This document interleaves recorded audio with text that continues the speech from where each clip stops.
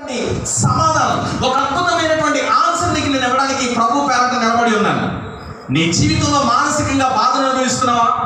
ఎవరో ఏదో అనేస్తున్నారని లేకపోతే ఎవరో ఏదో నిందించేస్తున్నారని ఎవరో నీ జీవితాన్ని పాయింట్ అవుట్ చేస్తున్నారని లేకపోతే అందరిలో నేను నవ్వుకుతానే ఉన్నాను కానీ నాకంటూ మనశ్శాంతి నాకంటూ శాంతి నాకంటూ సమాధానం నాకంటూ మానసికమైనటువంటి ఆనందం లేకుండా ఉన్నానని ఏడుస్తూ ఉన్నావా?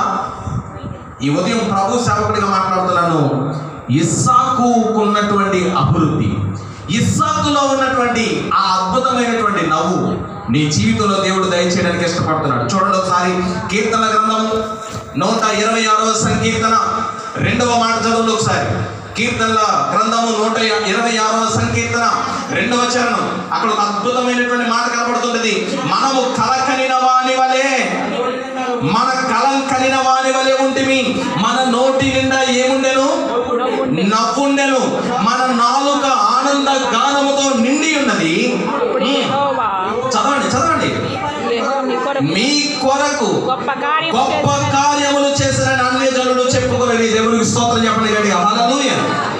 నవ్వకపోవడం పెద్ద రోగం అన్నారు. నవ్వకపోవడం? పెద్ద రోగం. కొంతమంది చూడండి చిన్నపిల్లలు చూసిన రాళ్ళ దగ్గరికి నా చిట్టే కన్న కుచ్చే అన్నా కూడా ఆడు మొహం ఈ అని ఎడి ఆడ దగ్గరికి రా. ఎందుకని? మొహం నవ్వు కాకూడదు దీనికి కొంతమందిని చూస్తే కొంతమంది ఫేస్ కూడా వికారంగా వేసుకుంటారు కొంతమందిని చూసినప్పుడు.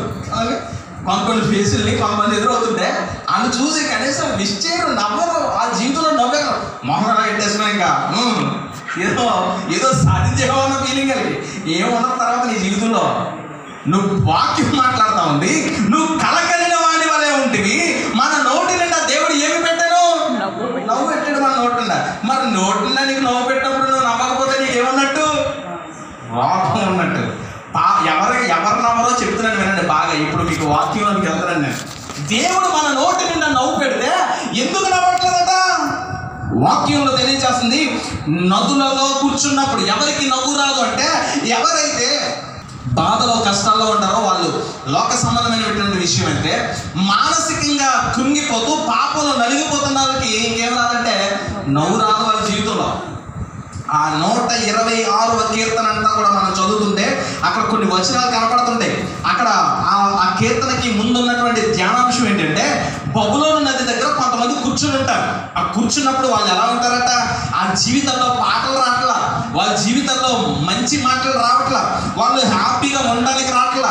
వాళ్ళంతా నిర్వంజి చెట్లలాగా అయిపోయారట. పాపంలో ఉండిపోయి నలిగిపోయారట. బంధకాల్లో ఉండిపోయి స్థిరిపోయారట అందుకని ఆ కీర్తన భాగంలో సియోనుకు తిరిగి వచ్చినప్పుడు యెహోవా చెరలో నుండి రప్పించినప్పుడు మనం కలకలిన వాళ్ళ వలె ఉంటుంది అప్పుడు నిర్బంధి మనకు నవ్వు లేకుండా మనం అయిపోయాం కానీ మన పరిస్థితి అంతంత మాత్రంగా అయిపోయింది కానీ ఇప్పుడు కలకలిన వాడి వలె నవ్వులా మార్చేశాడు మన దేవుడని అక్కడ కీర్తన గ్రంథాన్ని రాసుకొని వస్తా ఉన్నాడు భక్తుడు. యాత్ర కీర్తన రాస్తా ఉన్నాడు. బంధకాలలో ఉంటే నవ్వు రాదు. మనకున్నటువంటి పాపంలో ఉంటే నవ్వు రాదు. ఏ బొబ్బలోని ప్రాంతాల్లో ఉన్నా నవ్వు అనేటువంటి పరిస్థితి ఉండదు. మిత్రమా నీ జీవితం ఎందులో కట్టబడి ఉంది మన పరిస్థితి ఎందులో? ఆ బందీ బందీకానాలు అయిపోయాం మనం. వాటి నుంచి విడుదల పొందితే ఖచ్చితంగా నీ జీవితంలో నవ్వు ఉంటుంది. నవ్వగలుగుతావు. సంతోషాన్ని అనుభవించగలుగుతావు. సమాధానాన్ని పొందుకోగలుగుతావు. మన నోటి నిండా నవ్వులు కలిగింపజేసినటువంటి దేవుడు. యహోవా వీరి కొరకు గొప్ప కార్యాలు చేసిరని అన్యజనులు చెప్పుకునేలాగున దేవుడు మన నోటి నిండా నవ్వు ఇష్టపడుతున్నటువంటి వాడు. చూడండి కొన్ని సందర్భాల్లో ఆధ్యాత్మిక చెరలో ఉంటాం మనం. ఆధ్యాత్మికమైనటువంటి చెర మన జీవితాల్లో పాపాన్ని కొనసాగిస్తూ లేకపోతే అక్రమాన్ని చేస్తూ మోసాన్ని చేస్తూ వంచనను కొనసాగిస్తూ మోసం చేస్తూ అబద్ధాలను ఆడుతూ ఇతరుల ఆనందాన్ని తీసేస్తూ ఇతరుల్లో ఉన్నటువంటి వాటిని ఎత్తి చూపిస్తూ మనం సంతోషపడటం కాకుండా సంతోషం లేకుండా ఉండడం కాకుండా ఇతరుల ఆనందాన్ని కూడా తీసేయాలని అనుకుంటాం. అయితే దేవుడు మాట్లాడుతున్నాడు నీవు సంతోషంగా ఉండాలంటే నీ నోటి నవ్వు ఉండాలి. నీవు ఇతరులను ఆనందపరిచేవాడిగా సంతోషపరిచేవాడిగా ఉండాలి. నీతో మాట్లాడితే ఎవరు ఎలా ఉండాలంటే ఆనందపడాలి. అయ్యి బాబు వీడితో ఎందుకు మాట్లాడుతున్నారా బాబా నేనా? అని అనుకునేలా ఉండకూడదు. మనతో ఎవరైనా సంభాషిస్తున్నప్పుడు మనతో ఎవరైనా మాట్లాడుతున్నప్పుడు మన ద్వారా వారు సంతోషాన్ని అనుభవించాలి సమాధానాన్ని అనుభవించాలి హ్యాపీగా ఉండాలి మన ద్వారా నిరాశ అనేటువంటి మాటలు కానీ పాడైపోతారు అనేటువంటి మాటలు కానీ లేకపోతే నువ్వు ఇంకా వర్తిల్లవు అనేటువంటి మాటలు కానీ మనం మాట్లాడటానికి వీల్లేదు. నిరాశలో వారిని నింపేయడానికి వీల్లేదు. మనతో మాట్లాడేవారు మనతో సహవాసం ఉన్నటువంటి వారు మనతో ఉన్నటువంటి వారు ఎప్పుడు నవ్వుతూ నవ్వుతూ ఆనందంగా సంతోషంగా ఉండాలి. దేవుడికి స్తోత్రం చెప్పండి. ఆధ్యాత్మికమైనటువంటి చెరలో నుంచి మనం బయటికి రావాలి. ఓ భక్తుడు అద్భుతమైనటువంటి పాట రాశారు సాంజయ్ వేదాలు గారు. నవ్వండి నవ్వండి. మనసారా. చాలా బాగుంటుంది ఆ పాట. నవ్వండి నవ్వండి మనసార నవ్వండి. మన నవ్వునిచ్చిన ఏసయ్యను నమ్మి నవ్వండి. నవ్వండి నవ్వండి మనసార నవ్వండి. చిరునవ్వునిచ్చిన ఏసయ్యను నమ్మి నవ్వండి.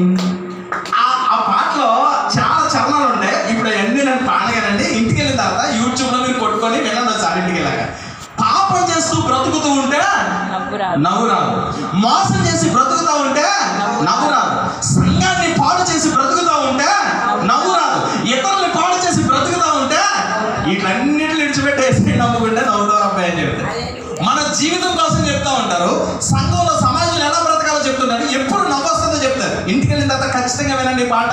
అప్పుడు మీకు చాలా బాగుంటుంది. లేదంటే ఇంటికి వెళ్ళేటప్పుడు ఆ ఆఖరి ప్రార్థన అయిన తర్వాత నేనే ఇందులో స్లోగా పెడతాను సో మనం నవ్వితే సంతోషంగా ఉంటాం నవ్వితే ప్రపంచాన్ని సంతోషం చేయగలుగుతాం సమాజాన్ని సంతోషంగా ఉంచగలుగుతాం మనకి మనం ఆరోగ్యంగా ఉండగలుగుతాం. యోగ భక్తుల్లో ఒక మాట అంటాడు ఏమనంటే ఆశారహితులై ఉండగా దయ చూసి చిరునవ్వు ముఖ ప్రకాశము లేకుండా అయిపోయిందట. ఒకసారి ఆ మాట నేను మీకు చూపిస్తాను చూడండి. యోగ గ్రంథము ఇరవై తొమ్మిదో అధ్యాయం దగ్గరికి రండి ఒకసారి. యోగ గ్రంథము ఇరవై తొమ్మిదో అధ్యాయం ఇరవై నాలుగో వచ్చిన వారు ఆశారహితులై ఉండగా వనే వారిని దయగా చూచి చిరునవ్వు నవ్వితిని నా ముఖ ప్రకాశము లేకుండా వారేమీ చేయరైని నేను వారికి పెద్దనై కూర్చుండి వారికి మార్గములను ఏర్పరిచి తిని సేనలో రాజు వలె దుఃఖించు వారిని ఓదార్చు వలె వారినే ఉంటి నేను. యోగు గ్రంథం ఇరవై తొమ్మిది అధ్యాయము ఇరవై నాలుగో వచ్చిన ఏం చెప్తుంది అక్కడ? వారు ఆశారహితులై ఉన్నారు. అంటే కోల్పోయారని ప్రతి దాని నుంచి విడుదల ప్రతి దాని నుంచి వాళ్ళు అనుకున్నవి ఆశారహితులు వాళ్ళు అనుకున్నవి జరగట్లేదు. అలాంటి వాళ్ళ దగ్గరికి వెళ్ళి బలి జరిగిందిరా నీక? అన్నాం అనుకోండి చూడ కొన్ని సందర్భాల్లో మన మన మన శత్రువులు కానీ లేకపోతే మనం ఎవరినైతే ఇష్టపడట్లేదో వాళ్ళకి కానీ ఏదైనా నష్టం జరిగింది అనుకోండి వెంటనే మనసు ఏమనుకోవడం బలి జరిగిందిరా ఇంకా? ఎలా జరగాలి. అని మనం అనుకోవడం లేదు? కొన్ని సందర్భాలు అనుకోండి ఇక్కడైతే యాక్ట్ చేస్తాం కానండి అందరం ఆనందం అనుకో. మానసిక నైజం మానవ నైజం మానవ తలకు మానవ ఉద్దేశాలు. పక్కోడు కూలిపోతే బాగుండు. పక్కోడు నాశనం అయిపోతే బాగుండు. పక్కోడు ఏదో అయిపోతే బాగుండు. నేను ఆడికన్నా ఇంకో రెండు అంతస్తులు అయితే బాగుండు. ఆడికన్నా గొప్ప అయిపోతేనే బాగుండు అనుకునే మనస్తత్వం అంతే. వినండి బాగా. క్రైస్తవ కుటుంబాల్లో క్రైస్తవ పిల్లలుగా దేవుని కుటుంబంలో ఉన్నటువంటి వారు దేవుని సహవాసులు ఉన్నటువంటి వారు ఎలా ఉండాలో తెలుసా? ఆశ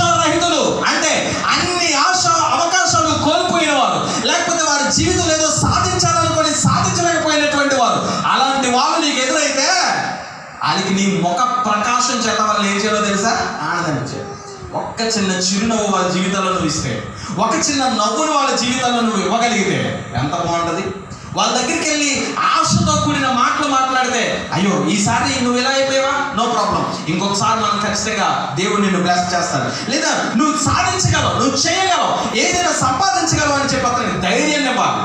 అంతేగాని వెళ్ళి ఇలా అయిపోయిందా అయితే ఇక నీకు మొత్తం వెళ్ళి నాశనం ఇంకా ఇంకా అయిపోతావు ఇంక నీ జీవితం అయిపోయింది ఇంకా ఇంక నువ్వు చూసేదే ఇలాగే మా ఊర్లో మా పక్కింటి రోజులు ఇలాగే అయిపోయింది అన్నావు అనుకోండి ఆడికి ఇంకా లేనిపోయి వెళ్ళి వచ్చి మొత్తం ఇంకా ఏమైపోతాడు టపకట్టడం పోతాడు ముందే వెళ్ళిపోతాడు చూడు కొంతమంది హాస్పిటల్ దగ్గరికి వెళ్ళి గుండెపోటు దగ్గరికి వెళ్ళి వాళ్ళు అప్పుడు ఆపరేషన్కి రెడీగా ఉంటారు? వాళ్ళు దగ్గరికి వెళ్ళి ఆపరేషన్ రేపు అనగా ఈ వాళ్ళు చూడటానికి వెళ్ళి.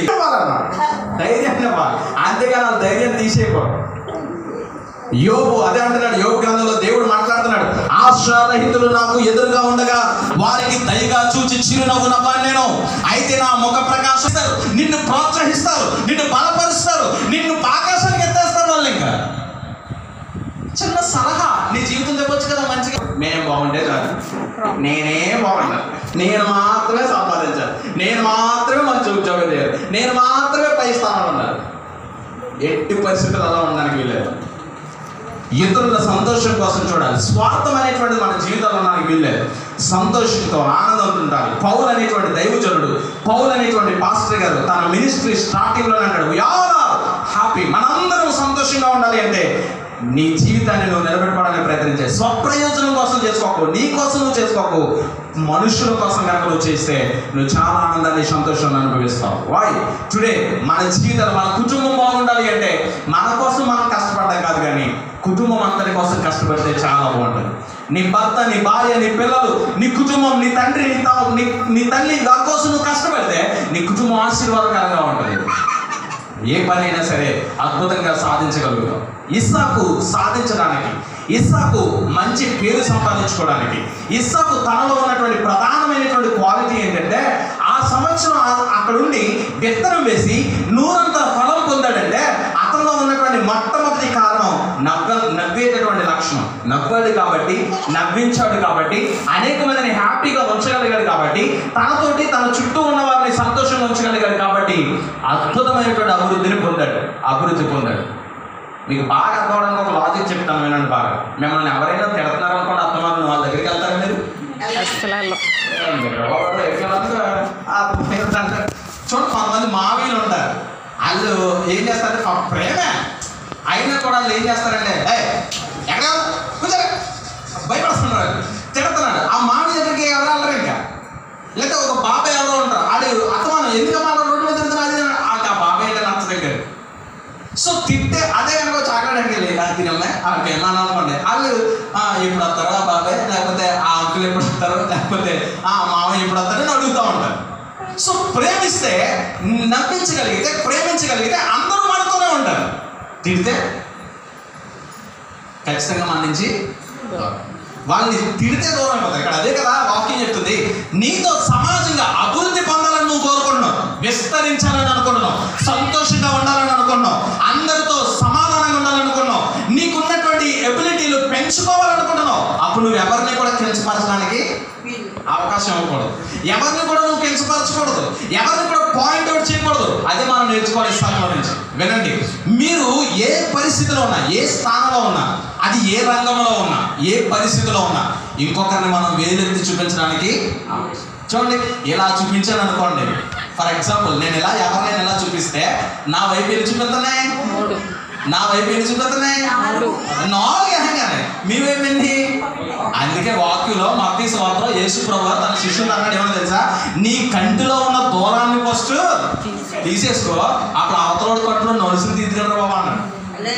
అవతల నలిసే. పాపం కంట్లో ఏదో దుమ్ము పడింది అంతే చిన్న నలక పడింది అంతే. అందుకని మనం ఓ నలకాయ పడింది దుమ్ము పడిపోయింది మట్టి అడిపోయింది పాడైపోయిందని సమాజంలో పెద్ద బ్యాండ్ వేస్తాం.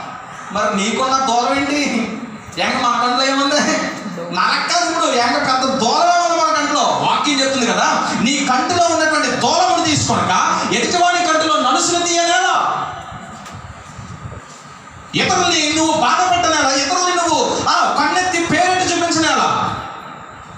నువ్వు సంతోషంగా ఉండాలంటే ఇతరులను నువ్వు బాధ సంతోషం నీ జీవితంలో ఉండదు. ఇతరులను సంతోషంగా ఉంచితేనే నువ్వు సంతోషంగా ఉండగలవు. ఇతరులు నువ్వు అభివృద్ధి నీ అభివృద్ధి కావాలంటే నువ్వు పై స్థానానికి వెళ్ళాలంటే నీతో పాటు ఉన్న వాళ్ళందరూ సంతోషపడాలని వాళ్ళ దేవునికి స్తోత్రం చెప్పండి. ఇస్సాకులో ఉన్న ఒకటవ లక్షణం అదే. ముగింపులో వస్తాను రెండు పాయింట్లు చెప్తాను. ఈ పాయింట్ చెప్పించేసి ముగించేస్తాను రెండోది ఏంటి అంటే ఇస్సాకు పొలంలో ధ్యానం చేసేటటువంటి అనుభవం కలిగినటువంటి వాడు. అదే ఆది కాండ గ్రంథము ఇరవై నాలుగో అధ్యాయం అరవై మూడో వచ్చిన దగ్గర రండి అంటే చాలా ఉన్నాయి అనుకోండి.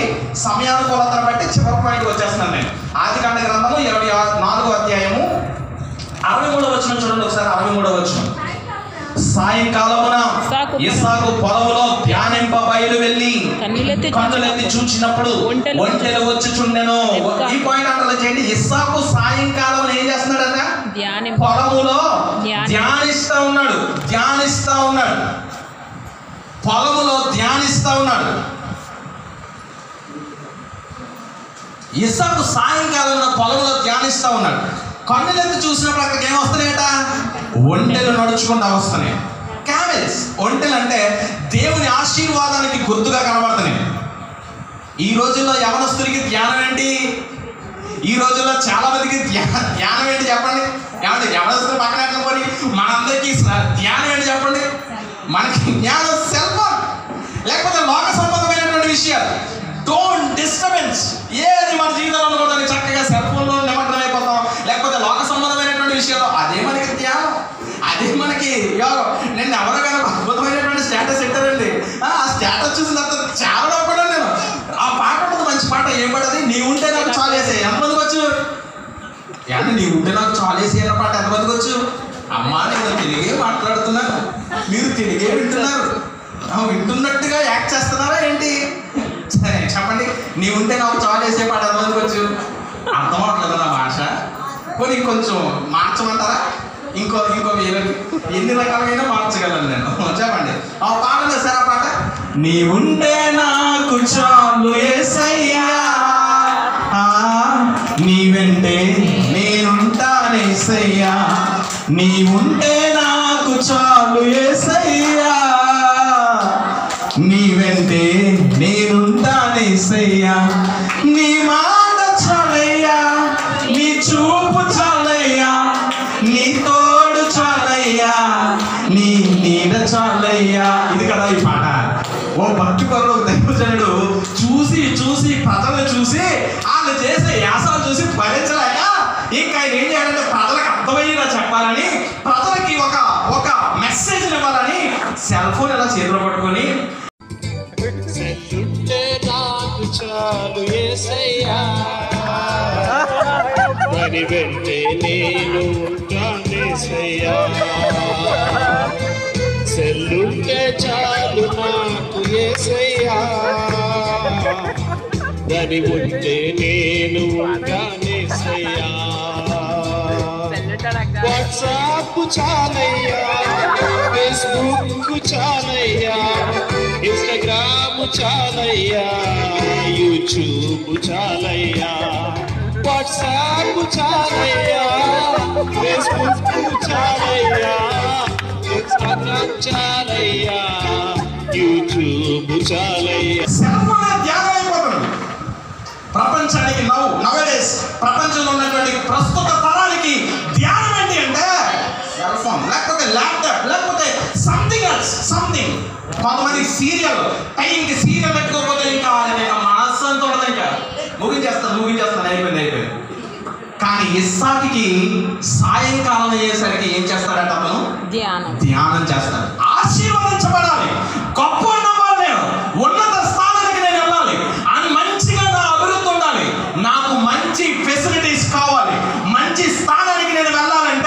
ఒకటి నీ చుట్టూ ఉన్నటువంటి వారు నీకులాగే సంతోషపడాలి.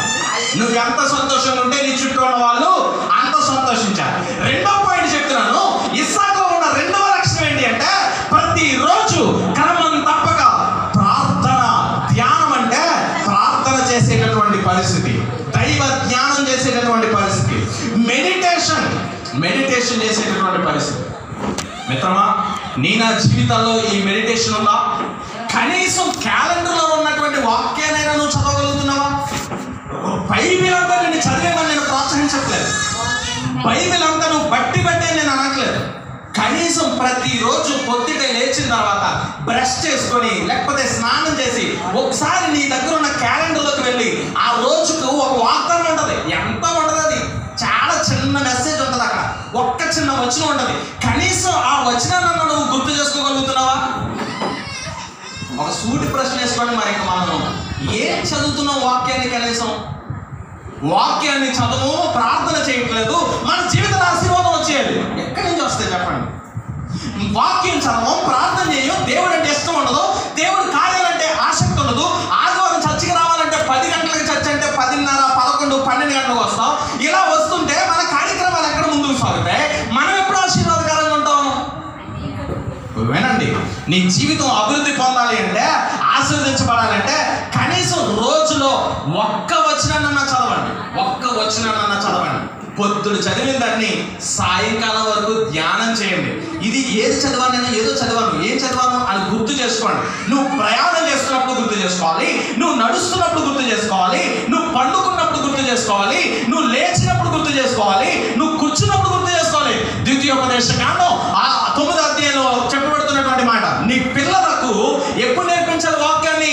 పడుకున్నప్పుడు కూర్చున్నప్పుడు లేచినప్పుడు నడుస్తున్నప్పుడు బయటికి వెళ్తున్నప్పుడు లోపలికి వస్తున్నప్పుడు ఎంత పడుకున్నప్పుడు ప్రతి సమయంలోనూ దేవుని వాక్యాన్ని నేర్పించాలని వాక్యం తెలియజేస్తుంది కదా? మొదట మనం ఫాలో అవుతే ఆ తర్వాత మన పిల్లలు మన దాంట్లోకి వస్తారు. మొదట మనం ఆ చిన్న పని చేయగలిగితే బాగుంటుంది. ఇస్సాకులో ఉన్నటువంటి రెండవ లక్షణం అది.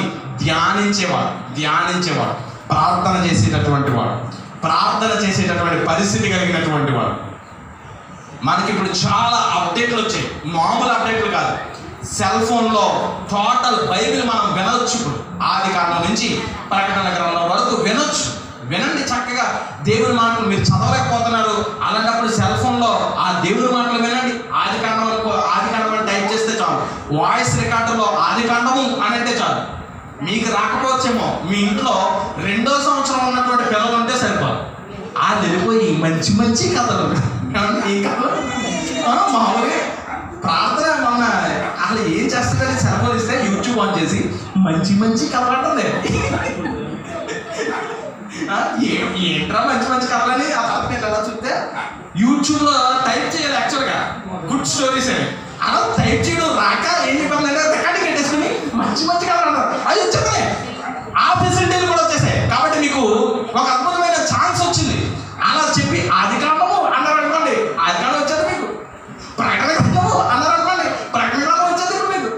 అప్పుడు ఏం చేయొచ్చు? చక్కగా చెవిలో పెట్టుకోనో లేకపోతే బైక్ పెట్టుకోనో వింటూ పనులు చేసుకోండి. వింటూ పాటలు వింటూ ఆరాధన చేయండి. మంచి పాటలు వస్తాయి. పది ఇరవై సంవత్సరాలు అయిపోయింది. పాట పాడమంటే పాడలేరు కొంతమంది. ప్రార్థన ఏమంటే చేయలేరు కొంతమంది. వాక్యం చదవమంటే చదవలేరు కొంతమంది. అయితే మీరు ఎప్పుడైతే పాటలు వింటా ఉంటారో ఎప్పుడైతే వాక్యాలు వింటారో ఎప్పుడైతే వాక్యాలు వింటాం మొదలెడతారో అద్భుతంగా మీ జీవితాలు ఏమవుతాయి? ఆశీర్వదించు ధ్యానం చేయడం అంటే అదండి. ధ్యానం చేయడం అంటే అదే. విన్న దాన్ని పదే పదే పదే పదే వింటే ఏదైనా వస్తుంది. చూడండి అనగననగా రాగా మతి శైలించు నుండు తినగ తినగ వేమ తీయ నుండు సాధనమున పనులు సమకూరు ధరలోన విశ్వదాభిరామ అది బాబు రైట్ అంటే తిన- ఆ తినగా చేదైన వేప కూడా ఏమైపోద్ది తీయగా. తీయగైపోద్ది పాడగా పాడగా పాడగా పాట కూడా ఏమైపోద్ది బాగా పాడేస్తాం చేయగా చేయగా పనులన్నీ ఎలా వస్తాయి చాలా షార్ప్గా వస్తాయి మరి నువ్వు కూడా వింటూ వింటూ ఉంటే దేవుని మాటలు నువ్వు కూడా ధ్యానం చేస్తూ ధ్యానం చేస్తూ ఉంటే ఆశీర్వాదం నీ జీవితంలో ఉంటుంది. దినమెల్లా నీ వాక్యాలు ధ్యానిస్తాను కీర్తన గ్రంథం నూట పంతొమ్మిదో కీర్తన తొంభై ఏడవ వచ్చిన ఒక మాట ఉండదు ఏమంటే దినమెల్లా ధ్యానిస్తాను నీ మాటలు అవి నాకు చాలా ప్రియమైనటువంటివి వ్యర్థమైనటువంటి సాహిత్యాన్ని కాదు నాయన నీ మాటలు నేను ధ్యానిస్తాను దినమెల్లా నేను ధ్యానిస్తాను. నీ బ్రెయిన్ బాగా పనిచేయాలంటే దేవుని మాటలు వినాలా? నీ బ్రెయిన్ బాగా ఉండాలంటే దేవుని మాటలు నీ మానసికమైనటువంటి ఆందోళన పోవాలి అంటే నువ్వు మానసికంగా సంతోషాన్ని అనుభవించాలంటే యేసు ప్రభు మాటలే నీ జీవితాన్ని మారుస్తాయి. దేవునికి స్తోత్రం చెప్పండి గట్టిగా. యేసు ప్రభు మాటలే నీ జీవితాన్ని మారుస్తాయి. దేశంలో ఉన్నత స్థానంలో నిలబెట్టింది ఎవరినో తెలుసా? గొప్ప గొప్ప ఐఏఎస్ ఆఫీసర్లు ఐపీఎస్ ఆఫీసర్లు ప్రధానమంత్రులు లేకపోతే గొప్ప గొప్ప కేటగిరీలో ఉన్నటువంటి వాళ్ళందరూ కూడా క్రైస్తవ పిల్లలే. దేవుడికి స్తోత్రం చెప్పండి. గొప్ప టెక్నాలజీని కనిపెట్టిందంతా క్రైస్తవులే.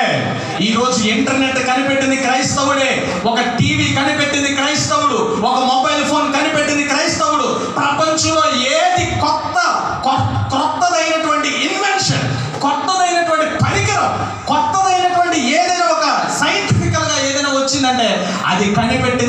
క్రైస్తవులే దేవునికి స్తోత్రం చెప్పండి. కారణం? దేవుని వాక్యం వారి జీవితంలో ఉంటది. దేవుని ప్రార్థన వారి జీవితంలో ఉంటది. దేవునితో ధ్యానం వారి జీవితంలో ఉంటది. ఇస్సాకు ఆ సంవత్సరము ఆ ప్రాంతములో విత్తనము వేసి బహుగా అభివృద్ధి పొందాడు. కారణం? అతనితో ఉన్న వారందరినీ నవ్వుగా ఉండేటటువంటి పరిస్థితి. అతని వల్ల అందరూ నవ్వుకున్నారు. అతను సంతోషంగా ఉన్నాడు అభివృద్ధి పొందాడు. రెండు అతను పొలములో ధ్యానించే అనుభవం కలిగిన వాడు ధ్యానించే అనుభవం కలిగినటువంటి వాడు ఆరాధించే అనుభవం కలిగినటువంటి వాడు.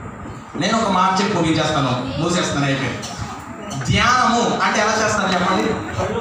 పళ్ళు మూసుకొని భాష పెట్టలేసుకుని హాయిగా ఆరాముగా చక్కగా ఏమన్నా ఏం చేస్తారు? అది ధ్యానం. సరే నేను కాదనట్లేదు. అది ధ్యానమే. ఇప్పుడు క్రైస్తవులుగా మనకు కూడా ధ్యానం ఉంది. దానికి కూడా ఒక ఆసనం ఉంది. చెప్తా జాగ్రత్తగా ఏం లేదు హ్యాపీగా మోకాళ్ళు వేయండి. ఏమండి హ్యాపీగా? మోకాళ్ళు వేయండి. మోకాళ్ళు వేసిన తర్వాత చేతులు రెండు పైకెత్తండి. ఆ తర్వాత కళ్ళు మూసుకోండి. ఇక నీ ఇష్టం ఎంతసేపు ధ్యానం చేయగలవో? చేసుకోవడమే హ్యాపీగా.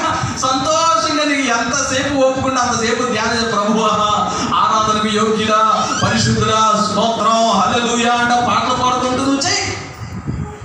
నువ్వు ఎప్పుడు మోకాలు లేని ప్రారంభిస్తావో నీ జీవితం అభివృద్ధి అప్పటి నుంచి మొదలైపోతాయి మోకాళ్ళ ప్రార్థన లేనటువంటి కుటుంబాలు మోకాళ్ళు ప్రార్థన లేని సంఘాలు మోకాళ్ళు ప్రార్థన లేనటువంటి వ్యవస్థలు అన్ని పట్టణ వ్యవస్థకి వెళ్ళిపోతున్నాయి. కారణం మోకాళ్ళ అనుభవం లేకే ఒంటెలపై వస్తున్నాడు నీ రాజు నీ ప్రభు నీ దేవుడు నీ రక్షకుడు.